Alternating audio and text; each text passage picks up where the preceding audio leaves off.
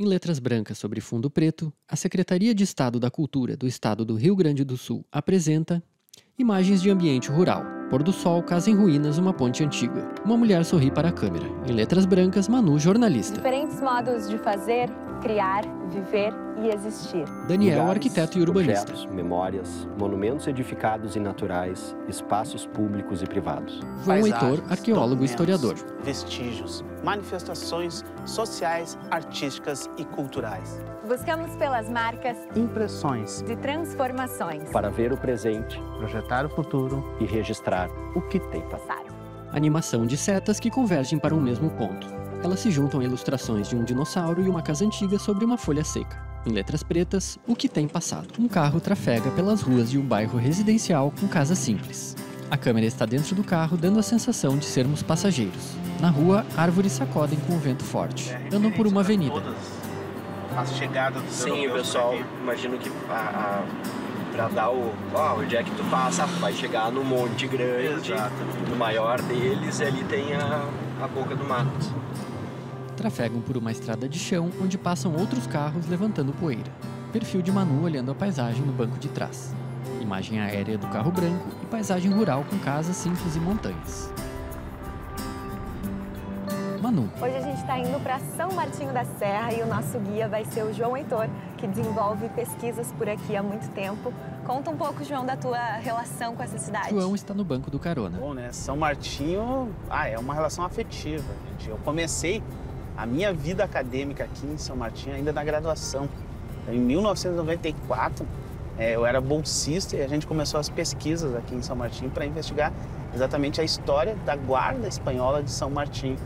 E essa pesquisa, então, fez com que a gente se aprofundasse na história, na arqueologia de São Martinho e virou o meu mestrado. Então, praticamente tudo que eu fiz de pesquisa na minha vida está diretamente ligado com essa história, com esse trajeto, com todo esse cenário que a gente está percorrendo aqui. Daniel, E essa ligação entre São Martinho e Santa Maria, que surge nessa estrada, né? É, essa estrada aqui, por si só, gente, ela já é uma estrada histórica. Ela é a estrada que dá origem a todo o contexto histórico da própria Guarda de São Martinho e da fundação de Santa Maria. E tanto portugueses e espanhóis, então, vão usar essa referência do Monte Grande como sendo a referência geográfica para a localização. E essa história do Monte Grande fez com que eles traçassem aqui uma picada de acesso à Serra de São Martinho, devido à posição estratégica da cidade, e essa estrada ficou conhecida como Boca da Picada do Monte Grande. E esse nome, né, estranho e comprido, ele vai dar origem, gente, ao próprio nome, o nome pitoresco da cidade de Santa Maria, Santa Maria da Boca do Monte. passam Legal. por máquinas e, obra operários. aqui é uma obra que também é uma demanda da, da comunidade bem antiga, né? São mais de 30 anos, né? Que esperando pelo, pelo asfalto. Hoje a gente está passando aqui pela realização de um sonho da comunidade, que é facilitar esse acesso a São Martinho. Que por mais que eh, São Martinho seja uma cidade muito próxima de São Santa Maria, são apenas 20 e poucos quilômetros, a distância ela sempre pareceu maior por ser uma estrada de chão, por ser uma estrada bastante ah, ah, prejudicada, né, por causa do tempo. E agora com o asfalto, né, isso vai dar um impulso para a economia, para o turismo, para o desenvolvimento da cidade muito grande. É, e aproximar, né? Aproximar as, as duas cidades, né? Que na verdade. Daniel dirige o carro. É, até a gente pode até discutir qual veio em função de qual, né? Porque se É. tu diz que tem resquícios espanhóis aqui, quer dizer, São Martinho é a origem de Santa Maria ou Santa Maria deu origem a São Martinho? Com certeza São Martinho é mais antigo. São Martinho aqui tem referências históricas já do século XVII, né? Santa Maria já vai surgir só no século XIX. O carro segue pela estrada de chão, com vegetação nos entornos e mata fechada ao fundo, com o trajeto sendo tracejado de Santa Maria até São Martinho da Serra. Manu fala São Martinho da. Serra é uma das povoações mais antigas do centro do estado. Sua história começa com o Forte de São Martinho, a partir de 1760, que pertencia ao Império Espanhol. Era a ponta mais avançada dos sete povos das missões e era também um local de disputas. Lembra do Tratado de Ildefonso, aquele que a gente estuda no colégio? Pois então, ele estabelecia uma linha divisória entre as terras de Espanha e Portugal. E essa linha ficava exatamente aqui, em São Martinho da Serra. É por isso que os pesquisadores consideram essa uma região de fronteira, embora fique distante da fronteira geográfica. Imagem aérea da pequena cidade no alto da serra. Dois morros altos, um deles com uma cruz no topo. Em letras brancas, Cerro São Miguel. João. Pessoal, esse lugar aqui é um lugar bem legal, assim, ó, porque esse morro aqui ele é uma referência histórica, tanto para os povos indígenas quanto os jesuítas, os portugueses. Todos eles citam esse lugar aqui como um lugar histórico. Então, os próprios uh, indígenas, eles citam isso aqui como uma pedra chamada Itaiacecó. E os jesuítas também vão usar essa nomenclatura para falar de uma redução que foi estabelecida aqui na primeira fase. Então, há uma referência histórica, documental e arqueológica, inclusive, aqui da região. Eu li num, num livro de um autor local, o seu Pedrazi, Daniel. que foram encontrados artefatos aqui da, da primeira fase, da redução da primeira fase. E o que, que é a, a primeira fase? Uh, quando a gente fala de reduções aqui no Rio Grande do Sul, a gente tem o, a tradição de se reportar os sete povos das missões. Mas quando a gente fala dessa história, que é a história do Rio Grande do Sul, a gente está falando de duas fases. A primeira foi no século XVII, quando se estabeleceu aqui as primeiras reduções da primeira fase. Eram mais de 30 povoados aqui na nossa região central, que deram origem então a todo esse projeto missioneiro, e algumas foram uh, localizadas aqui perto. Então esse cerro aqui, ele é uma dessas referências. Legal. E possivelmente, né, então no entorno desse cerro, nesse lugar que a gente está vendo, pode ser a redução de São Cosme e São Damião. Olha só. Você pode conversar com a comunidade aqui para ver o que, que, eles sabem sobre isso também, né? Acho que é uma Podem boa ideia. Acho que é legal a gente ouvir a comunidade. O vento forte levanta a poeira da estrada, sacode as árvores e os cabelos longos de Manu. Eles entram no carro. Ai, olha ele acusando a galera da casa. Chegam em uma propriedade rural e se aproximam de uma casa. Uma senhora com uma touca de cozinheira os recebe com ar de desconfiança. Tudo bom? Bom dia. Bom dia. Bom dia. Eles se aproximam Como dela. é que é o nome da senhora? Como? Ilse, tudo bem? Eu sou a Manu, Tudo bom, João João? Heitor, Daniel. O que, que a senhora sabe desse morro? O nome dele é Seu Em São Miguel. brancas, Ilse Na- Maria Na Mendes história Flores. é Seu São Miguel, não é Senho da Cruz. Popularmente Seu Senho da Cruz, mas, mas ele, é- ele pode colocar essa cruz ali devido à homenagem aos jesuítas. É, mas muito pouca gente vem aqui, nunca ninguém pesquisou quase nada, né? E a cruz foi colocada depois? É, faz uns 5, 6 anos atrás foi colocado. Daniel. E foi alguma promessa a cruz? Não, acho que não, é só porque tem uma, é histórico, né? Então, Referência, né, da região. É.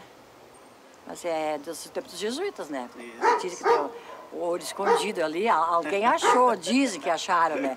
Diz que a cruz era três. Ah, já acharam ouro? Dizem que ah, sim, não, né? Eu ia lá procurar. não, não, Não adianta mais. Diz que as pontas da, da, da cruz, não sei que horas da tarde, onde, a- onde a sombra tocava, ali estava o ouro enterrado, né? Bom, mas tem ouro ainda, porque se ele botou a cruz há cinco anos. Não, não, a, esta, não, tinha uma cruz antigamente tinha? de madeira, né? Só com o tempo ela, ela est- apodreceu, né? Então, e onde, onde uma das, das, das a- abas da, da cruz batia às 5 horas da tarde, Ali tava o ouro. lá estava ouro, né? Isso é, se é história, não sei, se é verde verídico, não sei, né? Mas conta a história, né? Muito obrigado. Muito obrigado. Obrigado. Já ajudou bastante, velho. Tá bom isso pra vocês, então. Boa sorte, né? Tchau. Tchau, tchau, tchau, tchau. A propriedade fica bem ao pé do morro com a cruz. Eles seguem andando de carro pela estrada de chão com algumas casas pelo caminho. João. Próxima parada agora, a gente é a Cruz dos Degolados. Um nome não muito convidativo. Ah, eu gostei. Essa aqui é a estrada do Peral Velho, que é a, a ligação antiga, né, para a chegada à cidade. É, essa aqui é a estrada histórica de São Martinho, né? Ela é a estrada da Boca da Picada, ela é a estrada do Império e ela é a estrada dos tropeiros. É a estrada de tudo, então. Em letras brancas, Cruz dos Degolados. Por aqui, então, passa a história do Rio Grande do Sul. Uma cruz avermelhada com um lenço amarrado. Bom, gente, isso aí é a Cruz dos Degolados, que fala um capítulo bem importante da nossa história sul-grandense, que é a história da Revolução Federalista. Em 1894, 12 maragatos foram degolados aqui nesse local, né, que é o Largo da Capoeira, e eles foram degolados com as pernas e os braços amarrados para trás e passado, né, uma faca ou uma espada de orelha a orelha. E aí os corpos, né? Alguns corpos foram encontrados aqui, outros foram arrastados até lá em cima, onde fica a cidade de São Martinho. Barbaridade. Eu adoro essas histórias meio macabras, assim. Eu acho interessante aqui em São Martinho, gente, que assim, a, a população da cidade ela se identifica muito com a, a, história da cidade, eles são muito apaixonados. Tanto é que aqui hoje a gente tem um projeto que é a criação do Museu do Antropoceno. Pois aqui em São Martinho a gente tem uma história muito interessante que a gente consegue ver a presença humana interferindo em todo esse meio ambiente em vários momentos da história. Então, que memória é essa? Que lugar de memória é esse? O Museu do Antropoceno, então, amplia essa questão da espacialidade. É tudo, é em todos os lugares. É a interferência humana desde que os seres humanos chegaram aqui. Sabe que a história dos degolados, né, ela tem várias particularidades, são 12 degolados. A história toda se deu na peleia que deu aqui.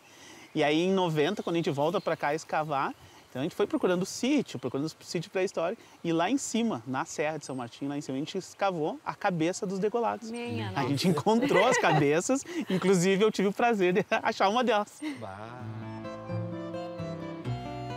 Eles conversam, observam o ambiente ao redor, que é montanhoso e arborizado. Daniel caminha próximo a uma cerca e um piso pedregoso. Uma ovelha fica olhando. João caminha e observa a paisagem. Manu tira uma foto com o celular. No carro. Atrás desse morro aqui tem uma cascada muito linda que é Lava Pés. Mais adiante ali tem outra cascata. E a cidade é toda, né? É circundada por cascatas lindas. E a gente não tem, né, João, essas, esses pontos, essas cascatas sinalizadas para quem vem para cá. É, por enquanto é uma pena isso, né, mano? Ah, é o Olha o sol! Maravilhoso. e, mas pelo Google Maps dá para achar, né? Consegue vir turistar e curtir as cachoeiras e tal. É uma ótima dica, né? Eles passam por um pórtico de entrada com um brasão e as boas-vindas escrito em português e espanhol. Andam a pé. E cá estamos nós, então, na rua Passo das Tropas, que até bem pouco tempo, inclusive, nem era pavimentada, né? Por onde passavam as tropas até o início do século XX. E tem alguns relatos de moradores mais velhos de que na infância eles recordam das tropas passarem por aqui, indo ou voltando da fronteira, duas mil cabeças de gado. E aí o tropeiro ia na frente avisando os moradores para se protegerem, se abrigarem dentro de casa, porque podia ser perigoso, né? As tropas vinham. Sim, imagina. Daniel. Eu, eu ainda fiquei sabendo que na descida da estrada do Peral Velho, quando dava um estouro da boiada, imagina o volume, né? Duas mil cabeças tinha gado que caía barranco abaixo, ou se caía e, e né, pela ser muito íngreme, quebrava uma pata, era perda para o estancieiro, né? não tinha como dar continuidade. E seguindo, descendo ainda em direção a Santa Maria, no, na boca do monte tem uma, uma região chamada Quebra-Dente, porque o, o, a subida, a descida é tão íngreme que o gado patinava e caía no chão e batia e quebrava o dente. É, quebrava o dente. E aí tem o um nome até hoje de quebra-dente. No século XIX, antes mesmo da Revolução Farroupilha, nós tínhamos um grave problema, na verdade, o contrabando de gado aqui na região. Então, o caminho das tropas, eles aqui pela descida do Peral, ele é balizado com muros de pedra, justamente para conter essa perda de gado e para poder criar ali também uma espécie assim de controle financeiro, uma aduana, digamos assim, nos tempos atuais, para se cobrar, na verdade, um imposto uh, diante desse contrabando que era indiscriminado né, durante todo o século XIX e até o início do século XX. Então, o passo das tropas aqui é um pouco da história do próprio Rio Grande do Sul. O caminho dos tropeiros passava por aqui também. Muito legal. Ele é lindo, né? É lindo. Eles seguem caminhando pela rua em declive. Ao fundo, há uma estrada asfaltada com pouco movimento e um bairro residencial monumento com uma cruz, um padre e um indígena parcialmente ajoelhado em sua frente. E esse monumento aqui ele foi inaugurado em 1997 e representa a tríade de formação da cidade, que é a Cruz de Lorena, a cruz missioneira, o padre jesuíta e o indígena. Vocês não acham que vale uma foto aqui? vamos, fazer uma, vamos fazer uma selfie. Vamos fazer um selfie. Manu tira uma selfie. O monumento é bidimensional, em formato de triângulo e tom bege. As figuras humanas e a cruz são vazadas, ficando desenhados somente os contornos e silhuetas dos personagens. Os três se aproximam de uma igreja simples. Que igreja bonita, né? Bonita, né? Eu achei interessante que ela tem um sino e ele pesa 300 quilos. E tem marcado em números romanos, quando ele foi feito, né? 1717 e escrito também em latim, ora pro nobis, algo assim, rogai por nós. E tá aqui o sino, veio para cá. Massa, né? João. Esse sino, possivelmente, né, ele foi saqueado das reduções e veio para cá com os primeiros estancieiros militares que vão ocupar toda a região aqui. E a ideia deles era trazer para cá para ver se os sinos eram de ouro e fazer canhões para fazer a proteção da fronteira que passava por aqui também. Daniel. Eu ouvi falar que ele tem um corte, um corte no sino que cortavam para ver se ele era de fato de, de ouro, maciço dentro. Imagem aérea dos três andando pela praça da igreja, com canteiros, árvores e calçamento de lajotas. A câmera vai subindo e mostra a paisagem ampla com a cidade no alto da serra, campos nos arredores e vegetação ao fundo. Eles caminham por uma avenida. Manu olha para seu celular. Guris, e escutem essa. São Martinho de Cima da Serra, um decreto de fria concisão. Deixa a margem da história a nossa terra, traz o tempo da desolação. Quase um século depois da derrocada, o poeta trovador celebra e canta que de suas próprias cinzas apagadas, São Martinho da Serra se levanta. Lindo, né? É o hino do, da cidade. E que história é essa, João? João, Bom, que história é essa, né?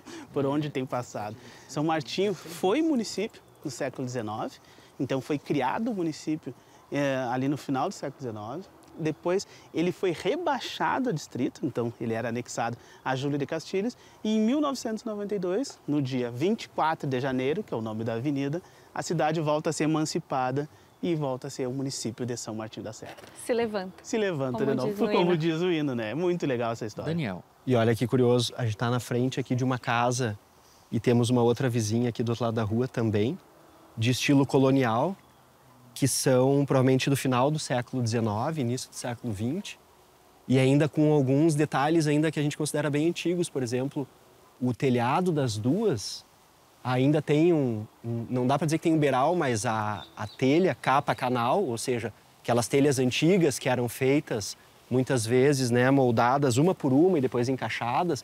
Capa canal na época colônia era feita na coxa dos escravos, né?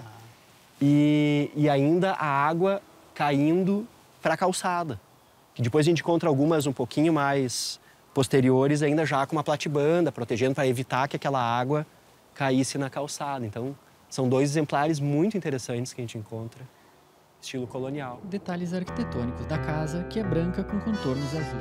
Ponto de vista de dentro do carro em movimento, que anda por uma região rural com fazendas de pecuária, algumas casas, um ponto de ônibus e estradas de chão. João, Ficar atento que a paisagem mudou, né? Que é Campos em cima da serra, então possível a gente ver ema. E uma coisa que vocês vão olhando aqui a lateral, ó, vai aparecer várias araucárias.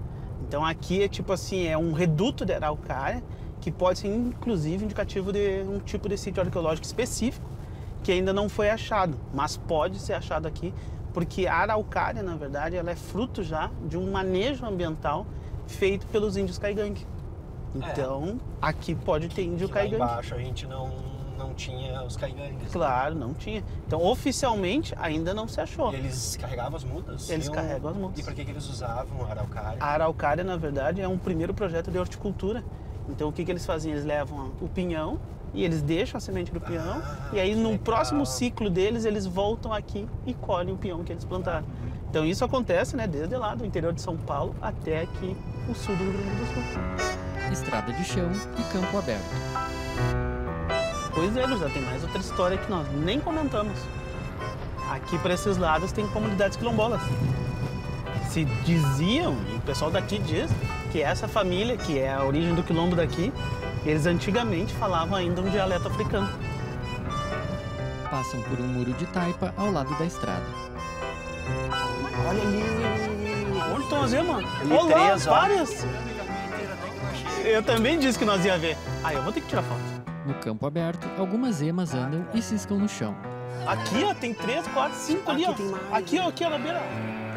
De volta no carro, eles passam por uma fazenda com gado. Entram em uma propriedade e se aproximam de uma casa simples. Ao lado, um muro de taipa e uma casa antiga não restaurada. Agora até me emocionei. Nossa Senhora Aparecida do Norte, minha filha. Olha só.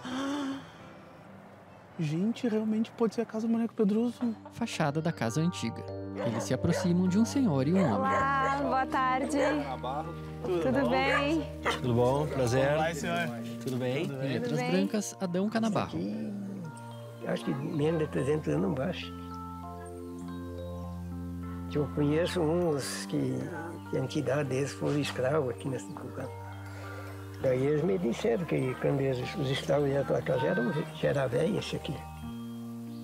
Eu tô muito, muito curioso na casa, porque acho que a- essa sua casa é a mais antiga que tem em toda a região aqui, essa aí. É, é, Dá, é, posso olhar? Porque essa aí é, olhar. é única. Daniel caminha em direção à casa. As paredes são de pedras finas encaixadas, sem argamassa e com um reboco parcialmente degradado. As molduras das portas e janelas são de madeira sem tratamento. Detalhe do telhado com beira. Um cacto cresce entre as telhas. Eles entram na casa. Olha aqui, ó, pau a pique. Ah, Divisória interna de pau a pique. Daniel tira uma foto da parede de barro. Nossa Eles Senhora, observam os detalhes aqui, com as lanternas dos celulares, Cara, pois é somente a é luz adobe natural antigo, que assim. entra pelas janelas. Ah, sim. Olha aqui, cara. Adobe, vamos dizer assim, que é a pré-história do cimento.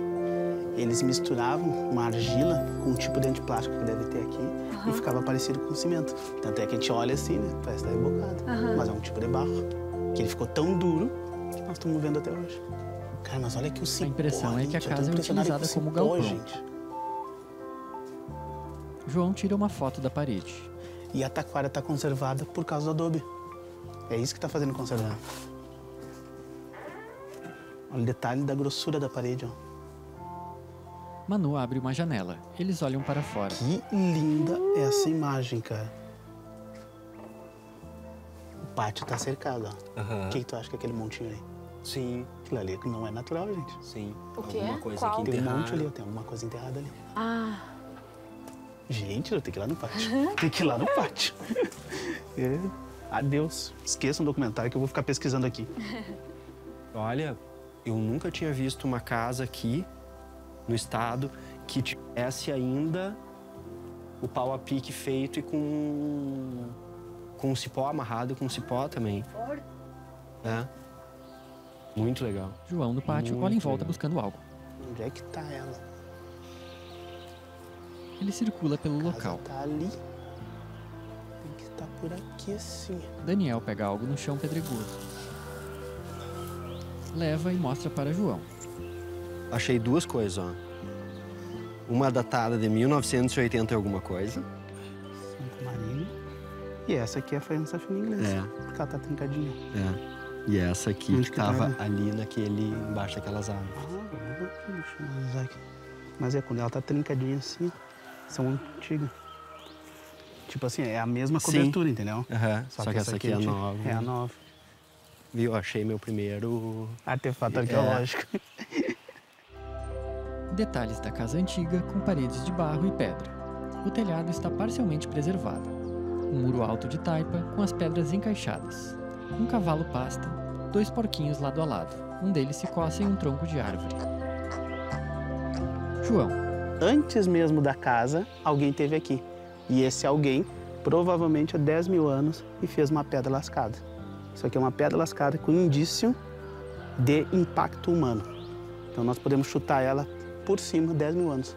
Antes da casa ainda. E depois veio a casa. Mas dá pra ver, tem muita coisa no lugar aqui. Muita coisa. Tenho certeza. uma senhora e uma menina observam a explicação de João. Manu, inclusive berga. que é uma. Ah, eu vou ter que pegar uma, pelo menos. Obrigado. ela pega bergamotas no chão e dá uma para João. Imagem aérea do local, com a casa antiga, casa nova, árvores ao redor e a paisagem da serra ao fundo. O carro anda pela estrada de chão. Uma vaca observa. João no meio do campo. Gente, com certeza aqui é o Tratado de Santo Ildefonso. A vista daqui, ó, é sensacional. Tu tá vendo Quevedo de um lado, São Martinho, e tu está seguindo pro norte. Provavelmente a construção é nova, mas a referência geográfica aqui, ó, é perfeito nas descrições que tem nas cartas. Tá aqui o vale do lado aqui, ó. A gente consegue ver tranquilamente 15 quilômetros para frente. Ali tá o outro vale, ó. Toda a região aqui, ó. Ele fala ao lado de uma pedra. Imagem aérea da paisagem ao entardecer, com morros, árvores e campo. De dia, os três andam por uma trilha no mato. Bora que só começou a aventura. Eles descem uma ribanceira, andam por pedras úmidas ao lado de um rio e retomam a trilha agora mais fechada. Chegam em um local com cachoeiras que vertem grande volume de água.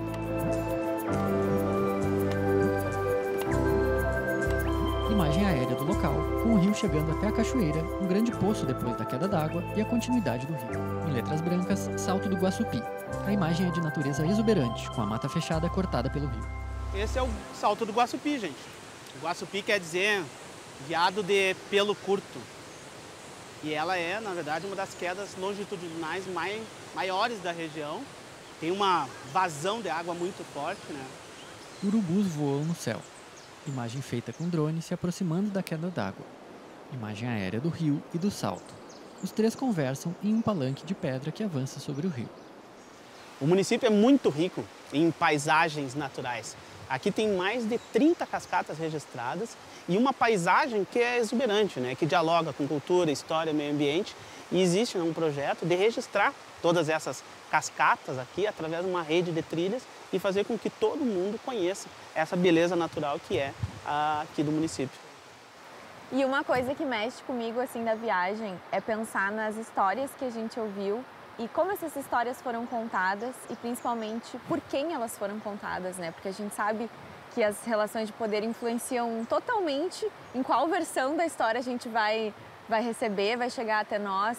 Se cria uma hegemonia cultural em torno disso.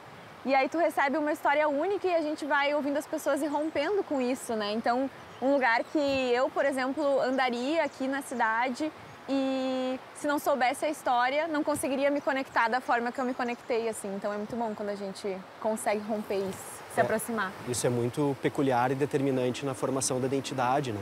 da cidade, das pessoas.